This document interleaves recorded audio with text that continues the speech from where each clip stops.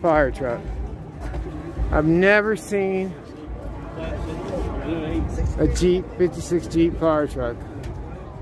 Have you guys?